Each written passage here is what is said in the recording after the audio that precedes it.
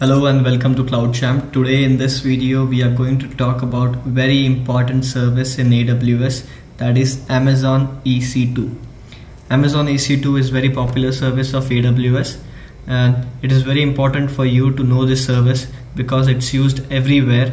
According to Intricately service, Netflix spends around 19 million dollars every month on AWS EC2. So it is very important for you to know this service because it's used everywhere today. And if you have the knowledge for this service mentioned in your resume definitely you will stand out among other candidates. So let's learn about AWS EC2 in this video. We'll learn all the components and all the features available including the AWS EC2 instance types the purchasing options the different types of AWS instances the security group and all the other components of EC2 so before we go ahead, I want you to please subscribe to the channel because most of the people have not subscribed yet. I take a lot of effort to make uh, these videos. So please subscribe to this channel and let's get started to learn the AWS EC2. According to the definition by AWS, Amazon Elastic Compute Cloud provides scalable computing capacity in the cloud Using Amazon EC2 eliminates your need to invest in hardware upfront so you can develop and deploy applications faster. So what this means is you get servers on rent. Earlier before cloud, when there was no cloud, we used to buy servers and install them and configure them. Uh, this used to take around weeks and maybe sometime months. It was quite time consuming and very costly. So EC2 have changed the game. EC2 have changed how people work and now we can deploy our application faster. We can launch our servers just in seconds. We can launch hundreds of servers just in one second. So yeah it is very important for you to know this service. Why EC2 why we should use EC2 or what are the features of EC2 so EC2 provides virtual machines and let you choose the operating system also known as AMI for Amazon EC2 provides you with a lot of AMIs AMI catalog you can see the number different types of AMIs available so you get Linux, Windows, Mac OS, Red Hat, SUSE, Ubuntu, Windows, Microsoft, and everything that everything that you want. You can also create your own AMIs or Amazon machine images. You get marketplace AMIs which are ready-made AMIs. For example, let's take this WordPress. You don't need to configure WordPress on your server. You get it ready-made so you can start your blog in seconds.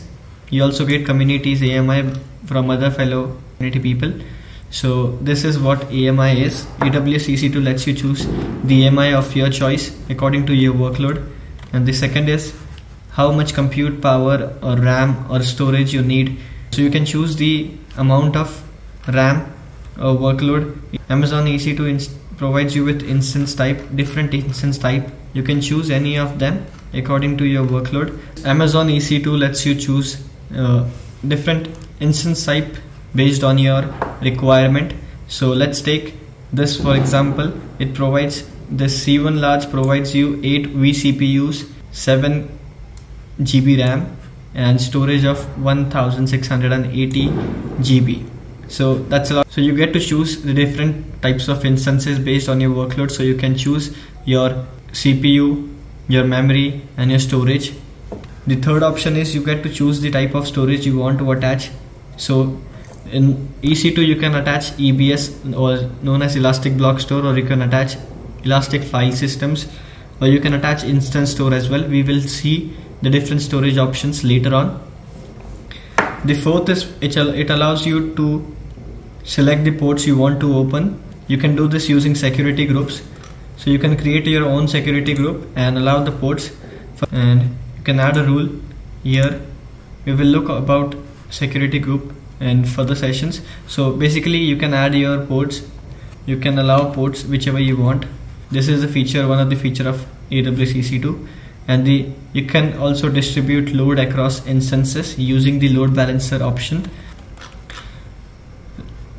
So you can distribute the traffic among different servers among different instances using the load balancers. Uh, we will look about we will learn more about load balancers in the further sessions. And you can also use auto scaling groups to increase the number of instances whenever the load is coming in and decrease the number of instances when there is less traffic. These are the features of EC2 so now you have understood why EC2 is so important and why it is so powerful. Everyone uses EC2 because it provides you with many options and many flexibility. That is why we should use we should know about EC2 and it is very important for you to know let's talk about the different EC2 instance type that is general purpose compute optimized memory optimized and storage optimized. The first one is general purpose. The general purpose instances provide a balance of compute memory and networking resources and can be used for a variety of diverse workloads.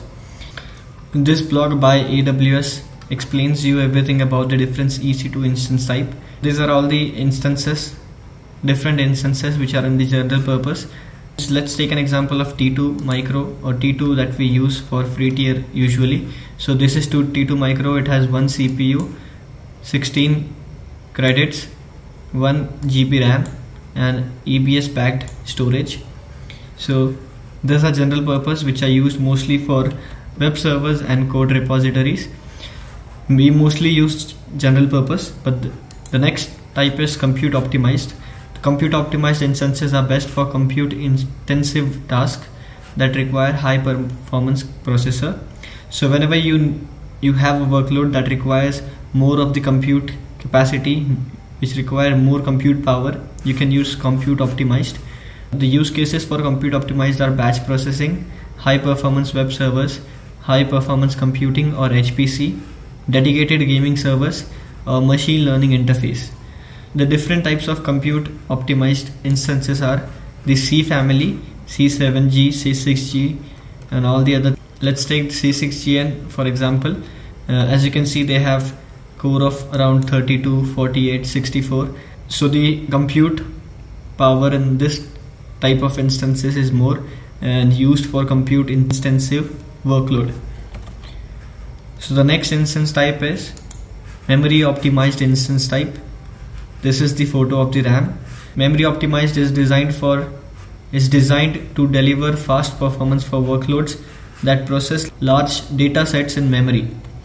Whenever you want more RAM, you can use memory optimized instances. The use cases are high performance databases or application performing real-time processing of big unstructured data. So something that needs uh, memory can be done through memory optimized instances. So the memory optimized instances are R family, R stands for RAM. So if you see there are the memory for this types of instances is quite big, quite more. Let's take the next type that is storage optimized. So for workloads that require high sequential reads and write access to every large data sets on local storage, they are optimized to deliver 10 tens of thousands of low latency IO operations per second or IOPS to the application. So the use cases for this type of instances is Redis, cache and distributed file system, data warehousing application and this instance type include the I family. So if you see this, they have more of the storage as compared to the CPU and the memory so whenever you need more storage you go for storage optimized. So these are the instance type. Let's talk about security group for now. Security groups acts as a virtual firewall for your EC2 instances to control incoming and outgoing traffic. So you can control the inbound and outbound traffic by allowing ports. Let's go to the console and let's look how to what does a security group look like if you don't know I have created a video which launches terminates and connects to EC2 connects to the instance. You can go check it out. I'll link it here and post the link in the description below as well. I've also shown how to create a security group and other components while launching an instance. So let's create a security group and we can get to know what all the things are. So my demo security group security. Alright so this is the inbound rule. Inbound rules mean traffic coming into the instance. So we can add inbound rule. You need to know different ports for this. So the first port we will add is SSH to connect to our instance. That is port 22 you can add anywhere or my IP the next we can add is HTTP for that is port 80 for HTTP access from anywhere.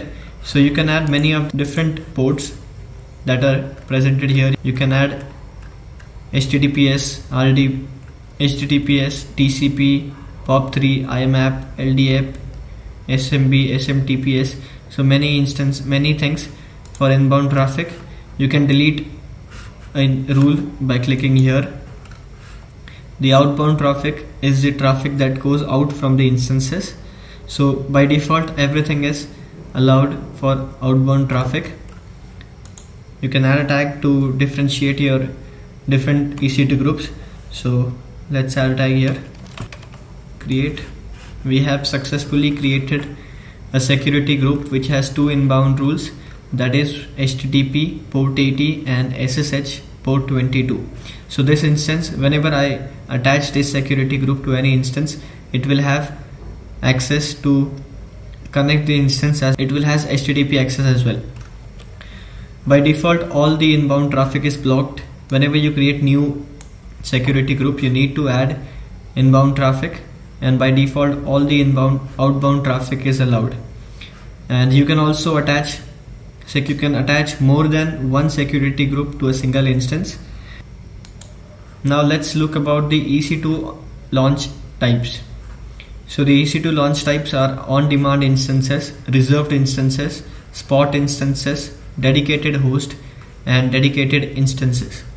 We will look about this EC2 launch type in the next video. So please check that out. I'll link it here.